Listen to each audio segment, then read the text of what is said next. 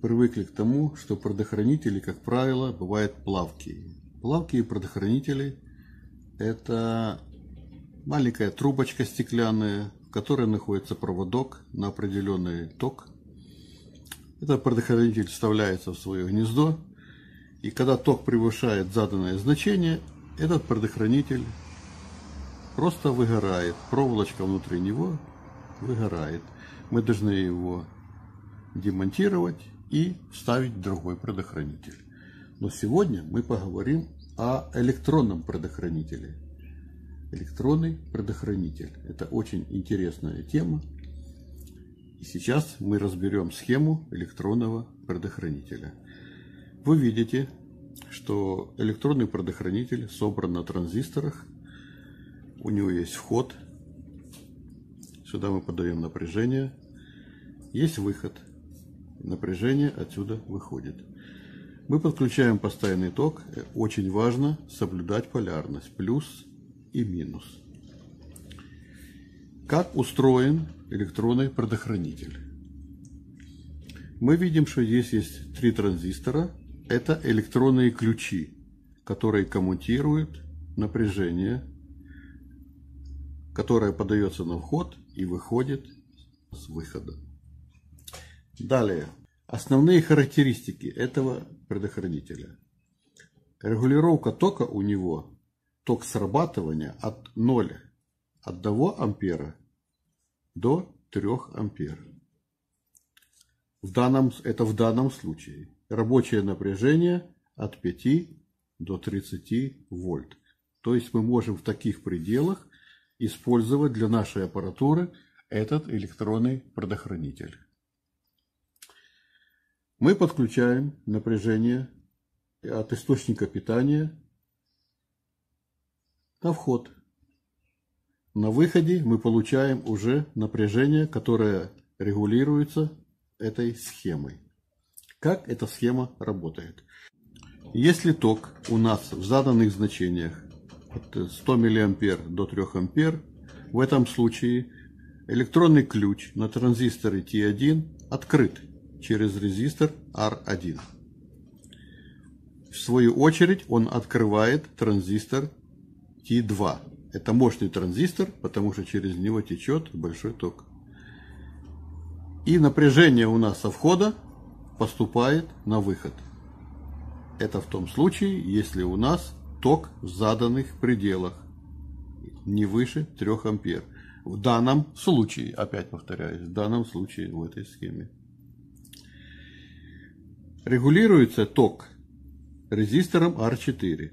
Он регулируется ток срабатывания от 100 мА до 3 А. R4. Резистор R2, R4 и R6 они являются датчиком тока.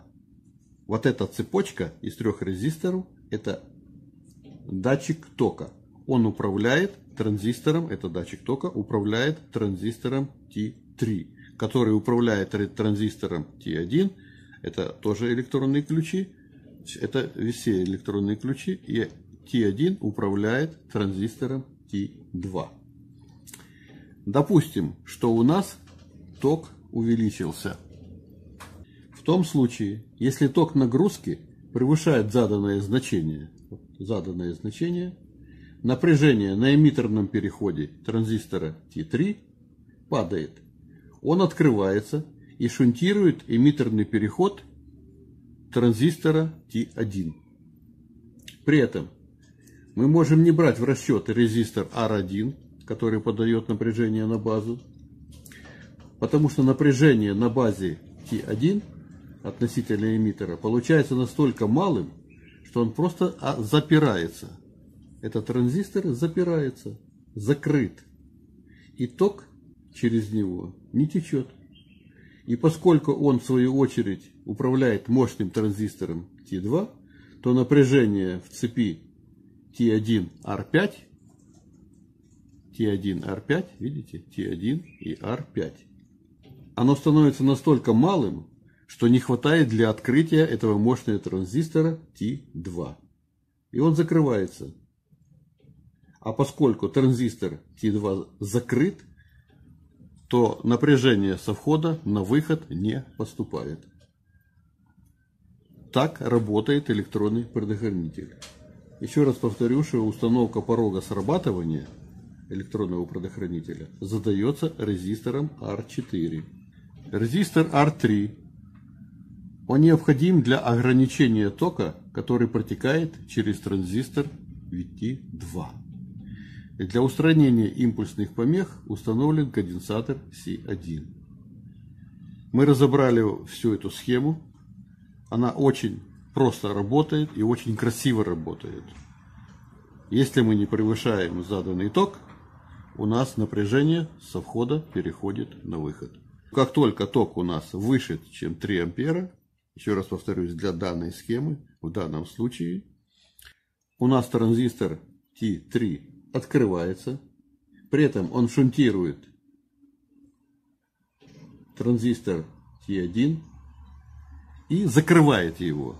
В то же время этот ключ закрывает мощный транзистор, через который подается напряжение. И напряжение не поступает со входа на выход.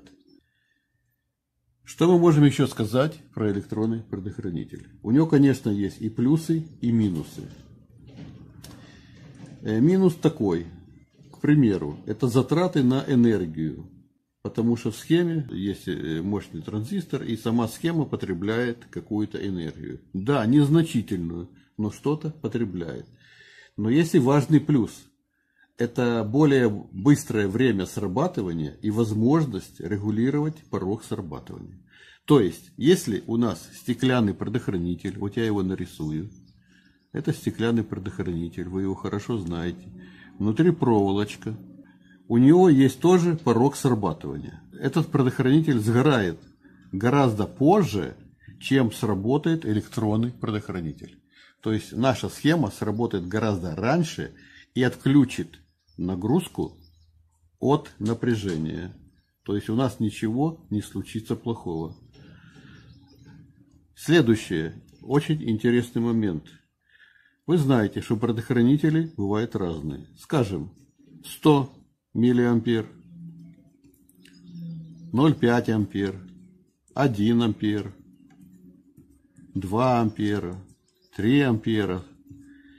То есть, если нам необходимы разные предохранители, мы должны их приобрести и вставить в гнездо предохранителя не, на необходимый ток тот предохранитель, что необходимо. В этом случае мы не должны при, приобретать стеклянные предохранители на разные токи. В этом случае мы просто регулируем резистором R4 ток срабатывания, отключение входа и выхода на тот ток, который нам необходим. Это очень удобно, то есть это как бы экономичнее и очень важно это время срабатывания. Очень быстрое время срабатывания. Мы сегодня с вами рассмотрели электронный предохранитель, как он работает, все составные его части. Мне очень нравится эта схема, она очень четко работает. Если вам понравилось это видео, вы можете переслать ссылку своим друзьям, пусть они тоже посмотрят, как работает предохранитель электронный. Может быть, они даже повторят эту схему у себя. Также вы можете поставить лайк, подписаться на наш канал, нажать на колокольчик, чтобы получить новые ролики, в которых...